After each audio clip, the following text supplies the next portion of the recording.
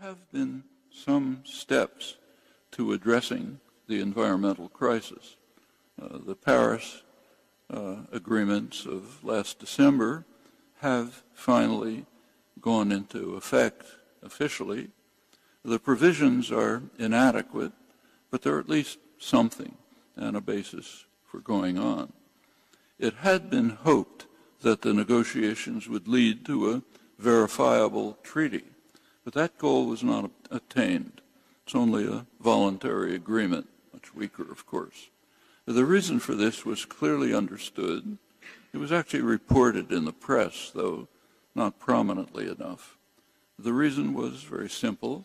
The Republican Congress would not accept binding commitments.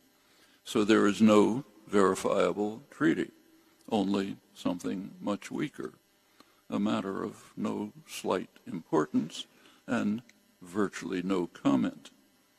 It's actually an astonishing fact, if you think about it, that a major political organization in the most powerful country in world history is literally dedicated to destruction of much of life on Earth.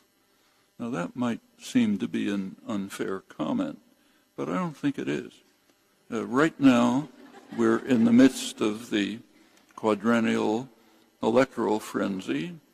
Uh, think about the Republican primaries, which recently ended. In the Republican primaries, every single candidate denied the facts about climate change. There was one exception, uh, the guy who was supposed to be the sensible moderate, John Kasich. He conceded the facts, but said we should do nothing about it, which is even worse than denying them.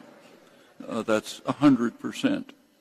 The winning candidate calls for more use of fossil fuels, including coal plants, the most destructive, he also calls for dismantling regulations, refusing funds to developing societies that are seeking to move to sustainable energy, and in every possible way accelerating the race to disaster.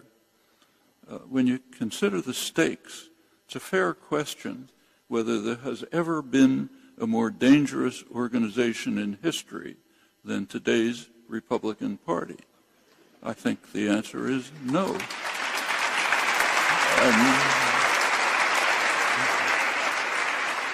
And, and worse still, there is no commentary on this. Right through the primary campaign, very little since, that astonishing blindness as the lemmings march to the precipice, in fact, extends well beyond. So in the past few years, there's been extensive and typically euphoric coverage of the prospects for 100 years of energy independence, given new technology for exploiting fossil fuels. Occasionally, there's comment on the local impact of fracking, uh, but scarcely a comment, if you can even find one, in fact, and pointing out that the euphoria amounts to an enthusiastic call for the sixth extinction to swallow us up at will. Uh, similarly, the growing threat of nuclear disaster barely elicits a mention.